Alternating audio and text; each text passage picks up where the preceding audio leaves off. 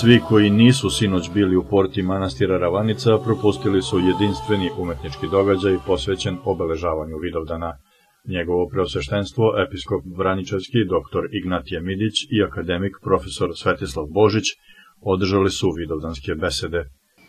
Sveta liturgija je sad i ovde ikona budućega carstva i dakle večnog života. Međutim, ikona sadrži u sebi prototip, iako ne u punoći. I ona se zbog toga i razlikuje od fotografije, odnosno od slike. Slika ukazuje na prototip samo idejno, a ne i realno, jer postaje paralelno i odvojeno od prototipa. Tako ako pocepate moju sliku, meni ništa niste naudili. Međutim, Carstvo Božije i crkva ne postoje paralelno. Carstvo Božije je događaj budućnosti koji se još nije desio. Carstvo jedino postoji kao ikona, to je sadi ovde kao crkva. Te tako, ako uništimo ikonu, uništili smo i prototip. Ako uništimo crkvu, uništili smo samo Carstvo Božije. Jer buduće Carstvo Božije još uvijek ne postoji realno, već samo kao ikona, to je kao crkva. I to je ono što u nama u stvari budi veru i utemeljeno na veri. Dakle, ovde, da bi bili članovi crkve, treba da verujemo.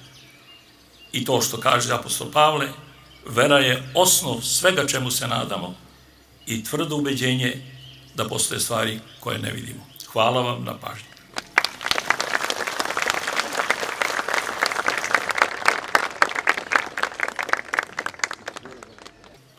Vidovdanska svetlost je umrženi snop vaskrsenja i vaznesenja, trojični briz pedesetnice, rođendan crkve i sabor sila nebeskih, koja u vojskama silnim čuva svet i straži nad njim, da bi ga, kao krunu ljubavi tvorčeve, nosila u život večni.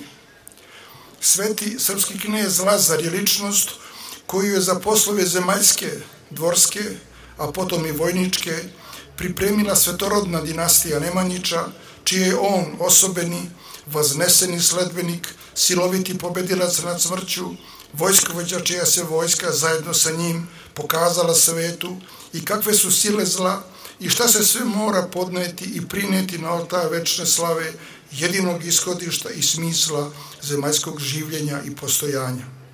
Skupo se obratio i predsednik opštine Ćuprija Jovica Antić. Kažu neki, kad dođu u Srbiju, zašto slavite Vidovdan? Kad je to datum kada je Sveta Lazareva vojska poražena na Kosovu. Kažu da nakon tog Vidovdana nije bilo više samostalne srpske države. Oni, oprostit ćete im, ne znaju šta govore. Oni ne razumeju da je taj nazovi poraz, koga uzgled budi rečeno u skladu sa istorijskim činjenicama nije ni bilo, izrodio sve dostatnje srpske pobede. I Karadžorđeve, i Miloševe, i one na Ceru, i one na Kolubari, i one na Ivankovcu, i one na Mišaru. Sve to, svega toga, bez kosovskog boja i tog na 1389. godine ne bi ni bilo. A možda ne bi ni bilo nas danas, ovde, večeras.